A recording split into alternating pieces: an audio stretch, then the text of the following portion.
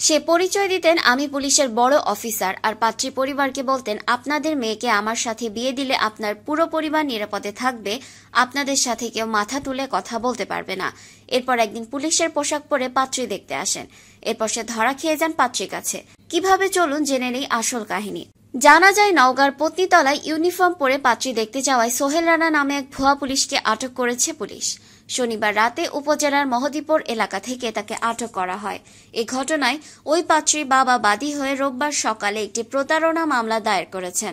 আটক সোহেল রানা রংপুরের মিঠাপুকুর উপজেলার নিশ্চিন্তপুর গ্রামের লোকমান আলীর ছেলে। পত্নীতলা থানার ওসি পলাশচন্দ্র দেব ভুক্তভোগী পরিবারে বরাত দিয়ে জানান আটক সোহেল রানা মোবাইল ফোনে ওই মেয়েটির সঙ্গে প্রেমের সম্পর্ক গড়ে তোলেন। ওই সম্পর্কের জের ধরে শনিবার বিকেলে মেয়েকে দেখতে এবং বিয়ে পাকাপোক্ত করতে পুলিশের পোশাক পরে মেয়ের বাড়িতে আসেন সোহেল রানা। মেয়ে দেখার এক পর্যায়ে তার কথাবার্তায় সন্দেহ হলে স্থানীয় লোকজন তাকে আটক করে থানায় খবর দেয়। পরে পুলিশ ঘটনাস্থলে গিয়ে তাকে আটক করে থানায় নিয়ে যায়।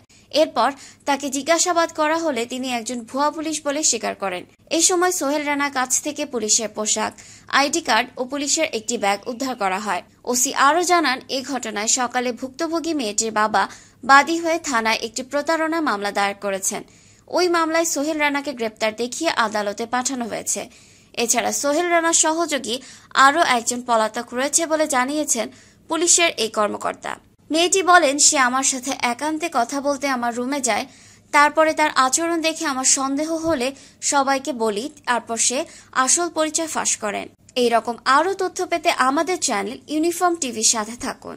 আর যদি সাবস্ক্রাইব না করে থাকেন, তাহলে এখনই সাবস্ক্রাইব করুন আর ভিডিওটি লাইক এবং শেয়ার করুন।